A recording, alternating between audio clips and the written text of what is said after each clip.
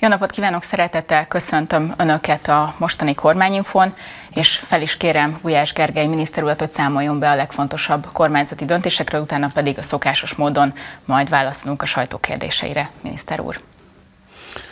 Tisztelettel köszöntök én is mindenkit. Másodszor vagyunk kénytelenek ebben a rendhagyó formában találkozni. Nekünk hiányoznak a közvetlen újságírói kérdések, de most mégis a járványani védekezés 24. napján talán indokolt az, hogy továbbra is ebben az online formában tartsuk a szokásos kormányinfót. Ez a 24. napja a veszélyhelyzet kihirdetése óta eltelt időszaknak. A járvány terjedése leginkább két kontinens érint, Észak-Amerikát és Európát. Azt tudjuk mondani a mai magyar adatokról, hogy 678 fertőzött, fertőzés történt, 58-an gyógyultak meg, 32-en hunytak el eddig. Több mint 11 ezeren vannak házi karanténban, és mintegy 20 ezer tesztet végeztek el eddig a hatóságok. Ebben a gyors tesztek nincsenek benne, tehát valójában a tesztek száma ennél magasabb. A legfontosabb továbbra is az emberi élet és egészség védelme.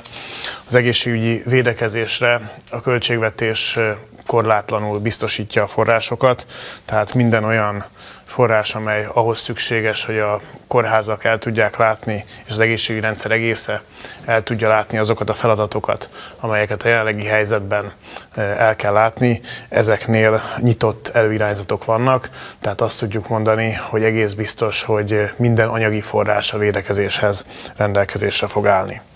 A, azt a heroikus küzdelmet, amelyet eh, néhány kórházban már most, és később sajnos majd vélhetően az egészségügyi szektor egészében fognak az egészségügyi dolgozók vívni. Azzal is szeretné a kormány elismerni, hogy bruttó félmillió forintot biztosít az idei évben, valamikor a nyár elején az egészségügyi dolgozók számára, valamennyi egészségügyi dolgozó számára. Arról is szeretnék beszámolni, hogy folyamatos az eszközbeszerzés, bár az egészségügyi termékek piacán a szabadkereskedelmet, a szabadrablás váltotta fel, de ilyen körülmények között is mindent megteszünk azért, hogy a védőfelszereléseket és védőeszközöket be tudjuk szerezni, és biztosítani tudjuk a járvány elleni védekezésben Magyarországon. Eddig mintegy 380 milliárd forintot költöttünk erre. Látni kell ebből, hogy komoly gazdasági következményei is vannak a járványnak. A gazdasági következmények közül csak az első, és egyébként a kisebb, hogy a védekezéshez szükséges forrásokat biztosítani kell. Ez is óriási megterhelés, ezért a kormány a költségvetés alapvető átrendezéséről döntött a járvány elleni védekezés alapját létrehoztuk, és létrehozunk egy gazdaságvédelmi, a gazdaság újraindítását szolgáló alapot is. Az eredményes védekezéshez szükséges források biztosítása érdekében a kormány jelentős költségvetési átcsoportosításokat hajt végre, és közös teherviselésre fogunk kötelezni másokat is másokat is közös terviselésre kötelezünk, így a politikai pártokat, a multinacionális kereskedelmi láncokat, a bankokat és az önkormányzatokat is, hiszen csak így tudjuk biztosítani, hogy a védekezéshez és a gazdaság újraindításához szükséges források rendelkezésre álljanak. Ami a számokat illeti, azt tudom mondani, hogy a kormány magán kezdte a takarékosságot és az átcsoportosításokat. Eddig elvonunk és átcsoportosítunk a tárcáktól összesen 1345 milliárd forintot. Ami a konkrét járvány elleni védekezési alapot illeti, ott a következő költségvetési számokat szeretném ismertetni. A pártok támogatása. Természetesen semmilyen intézkedésnek visszameges hatája nincs, tehát amiket mondok, azok április 15-től vagy május 1-től bevezethető intézkedések. A párt támogatások 50%-át erre az évre a járvány elleni védekezési alapba kell befizetni, ez körülbelül 1,2 milliárd forintot jelent. A multinacionális láncokat terhelő kereskedelmi adó mértéke az mintegy 36 milliárd forint bevételt jelent. Ismert az, hogy ezt az adólemet egyszer már a magyar kormány kivetette, akkor egy Európai Unióval folytatott vitát eredményezett ez, és az Európai Unió bíróságán ezt az ügyet Lengyelország hasonló intézkedése kapcsán azok az államok nyerték meg, akik a multinacionális üzletláncok kereskedelmi adója mellett érveltek, tehát a bizottsággal szemben tagállami lengyel-magyar győzelmet arattunk, ezért semmi akadálya nincs annak, hogy ezt újból bevezessük. Az idei évben ez mintegy 36 milliárd forint bevételt fog eredményezni. A pénzügyi szektortól, bankoktól kérünk hozzájárulást, a bankoknak 55 milliárd forintot kell ebbe a járvány elleni védekezési alapba befizetni. A gépjárműadó központi költségvetésbe átirányított része az idei évben 34 milliárd forint lesz. Az önkormányzatokat arra kérjük, hogy ezzel járuljanak hozzá a járvány elleni védekezéshez. Úgy gondoljuk, hogy ez az arányos teherviselésnek része. Ebbe az alapba ezzel összesen 663 milliárd forintot tudunk biztosítani. Szeretném azt jelezni, hogy a járvány elleni védekezés központi tartaléka az 378 milliárd forint, ez egy felülről nyitott előirányzat, tehát a költségvetés ide tud pénzeket áttenni.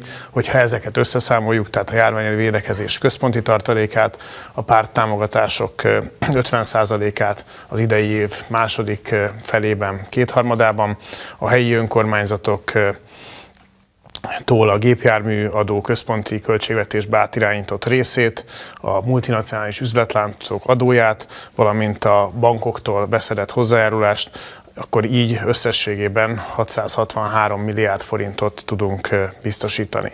A kiadásokról azt tudom eddig mondani, hogy az egészségügyi szakdolgozók és védőnök korábban eldöntött béremelésére is sor fog kerülni, azt is ebből az alapból fogjuk fizetni, ez mintegy 81 milliárd forint, 20%-os novemberi béremelése lesz a védőnöknek és egészségügyi szakdolgozóknak, a kormány ezt a gazdasági nehézségek ellenére továbbra is biztosítani fogja a bruttó 500 ezer forintos juttatás mellett.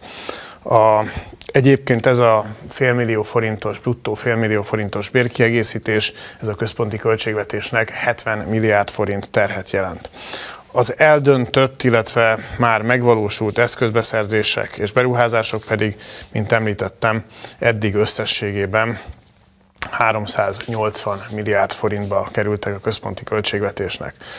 Végül még röviden szeretnék arról is tájékoztást adni, hogy a tavalyi vagy hogy az idei évben, az elmúlt hónapban azok a gazdaságvédelmi lépések, amelyeket a munkahely megőrzése érdekében tettünk, munkahelyek megőrzése érdekében tettünk, ahol a járulékokat és adóbefizetést csökkentettük, illetve gyakorlatilag csak és kizárólag az egészségügyi hozzájárulást kell ma a leginkább válságba jutott szektorokban a munkavállalóknak befizetni, minden más munkavállalói és munkaadói terhet, tehertől mentesítettük a cégeket, illetve a munkavállalókat. Ez körülbelül 100 milliárd forintba eh, került eddig. És a újraindításhoz, gazdaságvédelméhez szükséges alapnak pedig része a központi intézményekből beszedett megtakarítás, ez a minisztériumoktól elvont forrásokat jelenti, ez 922 milliárd forintot jelent, illetve a Nemzeti Foglalkoztási Alap bevétele teljes egészében ide kerül, ez 423 milliárd forint, tehát összességében a gazdaság védelmére és a gazdaság újraindítását szolgáló intézkedések megtételére létrehozott alapban egy 1345 milliárd forint áll rendelkezés, rendelkezésünkre. Ezek azok a számok, amelyek olyan óriási számok, hogy szinte felfoghatatlanok, mégis úgy gondoljuk, hogy ahhoz az óriási kihíváshoz, amelyel a válságban az ország szembesül, feltétlenül szükségesek. Még talán néhány számot a munkanélküliséggel kapcsolatosan szeretnék mondani körülbelül 30 ezerrel nőtt a munkanélküliek száma. Ez azonban nem azt jelenti, hogy csak ennyien vesztették el az állásaikat, az állásukat. A korábbi 70 ezer szabad munkahely száma az 40 és 50 ezer közöttire csökkent, tehát jelentős csökkenés van a szabad munkahelyek számában, hiszen akik elvesztették az állásukat, sokan még viszonylag gyorsan tudtak új állást találni maguknak, de így is 30 ezerrel nőtt a munkanélküliek száma, és azt látjuk, hogy április elejétől a munkanélküli, vagy a munkájukat elvesztők száma drámaian megnőtt, napi 4000 körüli a munkájukat elvesztők száma. A kormány éppen ezért nem csupán a költségvetésről való eltérésről fog hivatalosan is dönteni a holnapi kormányülésen. Ezek a számok már fixek, részei ennek a döntésnek, de ezeket a számokat már a pénzügyminisztérium egyértelműen rögzítette, a tárcák is tudnak róla, a miniszterelnök is jóváhagyta, hanem a kormány döntést hoz egy olyan gazdaság élénkítő tervről is, amely a rendszerváltozás óta Magyarország történetének legnagyobb gazdasági akcióterve lesz. Ez egyszerre fogja biztosítani a védekezéshez szükséges forrásokat, és azokat a száz és ezer milliárdokat, amelyek a gazdaság újraindításához feltétlenül szükségesek.